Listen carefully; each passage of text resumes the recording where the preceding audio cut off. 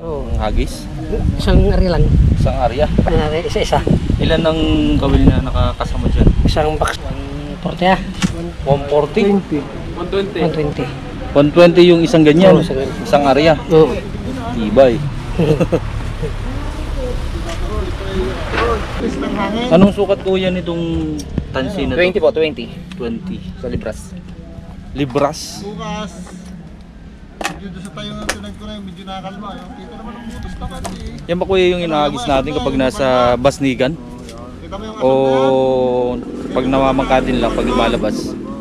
Hindi ho sa Basnigan. Alas 11, alas 2. Maliliit lang ang ganyan, mga ganyan lang. Ah, mga ganito lang ano?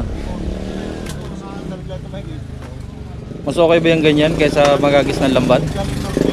Ay, mas okay pong mga isda ng ganito. Sa lambat po, ay provisyo ang isda. Dito ay ano, may anong laki ang mga nahuhuli nito.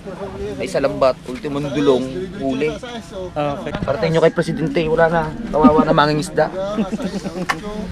Ano usually kuya yung mga isda na uhuli dyan? Tulingan.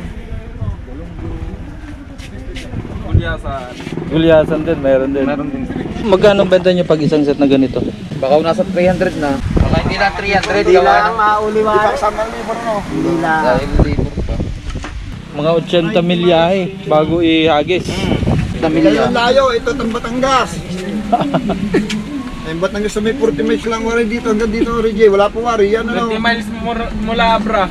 Ilan? 22 yata, 24. Oh, ay dito ay ano lang. Mga wala pang 20 Wa- milya May yata. 30 milya lang pala yan.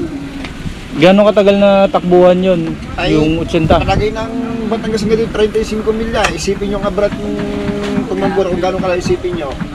Dito ano, pag umalis ako kayo ng alas 7 ng umaga, yung malilitong bangka, Hapon ng bago tumilim doon, mga isang pang araw, ano kayo, Yeah, sa mga makakawin na. 60 miles. Si 60 miles lang po yun.